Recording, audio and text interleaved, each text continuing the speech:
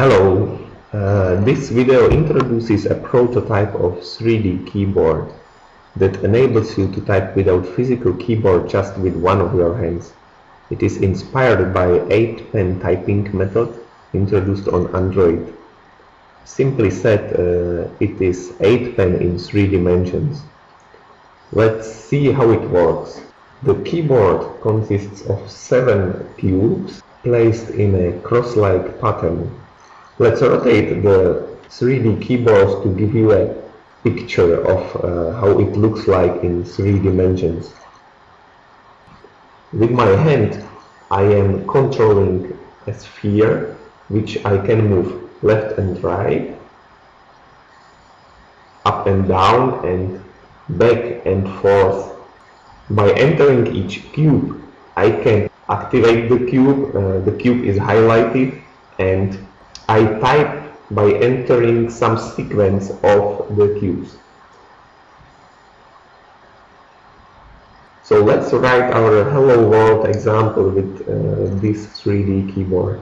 Let's start by typing H.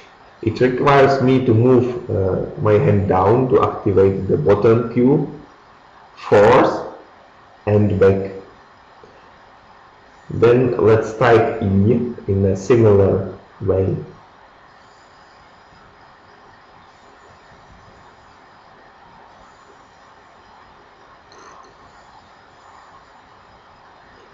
Now I will uh, type space by moving my hand back and forth.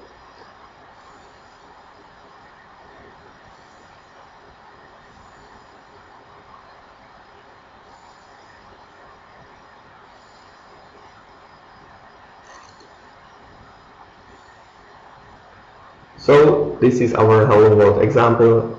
The 3D keyboard is using Microsoft Xbox Kinect and uh, drivers for it by PrimeSense uh, OpenNI drivers. It is based on point viewer example which comes with the distribution with the NITE uh, OpenNI PrimeSense sources. Thanks for watching.